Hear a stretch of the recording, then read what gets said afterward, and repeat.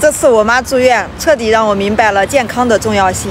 人家都说人到中年最怕半夜接到家里的电话，以前可能对这句话还没有什么理解，经历了这次呢，让我也是理解到了这句话背后的含义。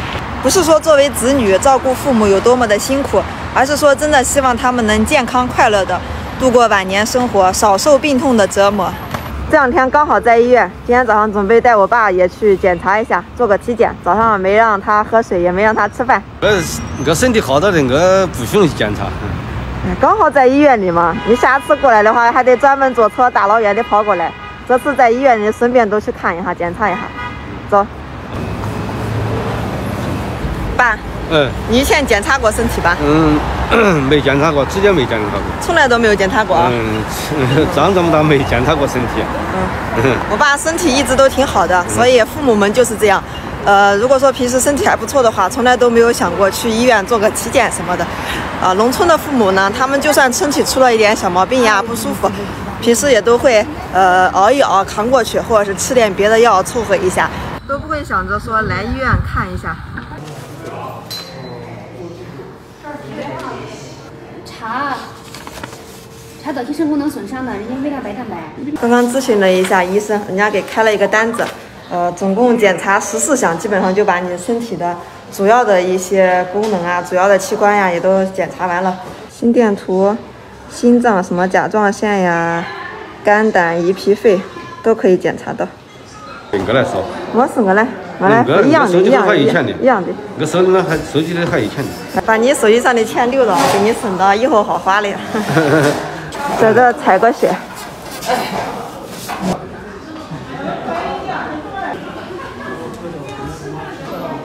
钱吗？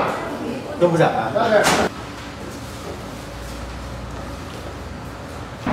来了。来了。去吃了个饭。早上给爸检查怎么样？都检查完了，但是结果还没有出来呢，还得等一会儿。啥时候出结果呢？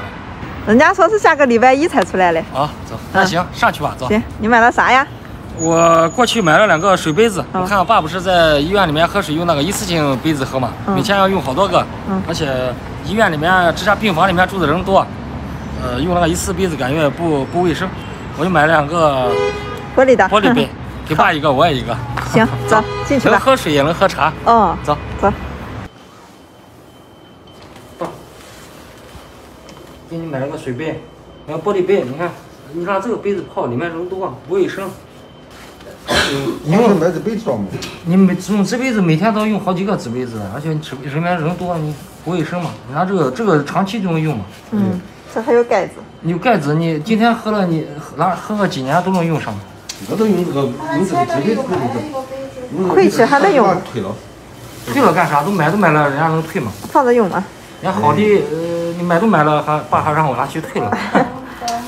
这个是我爸我妈住院的时候，你给我妈买的。十几块钱嘛，十才十几块钱，十几块钱，那么便宜。